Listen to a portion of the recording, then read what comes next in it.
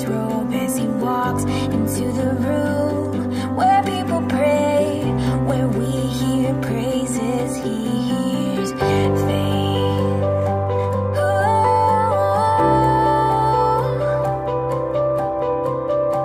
there is a sound I love to hear. It's the sound of the Savior's robe as he walks into the room.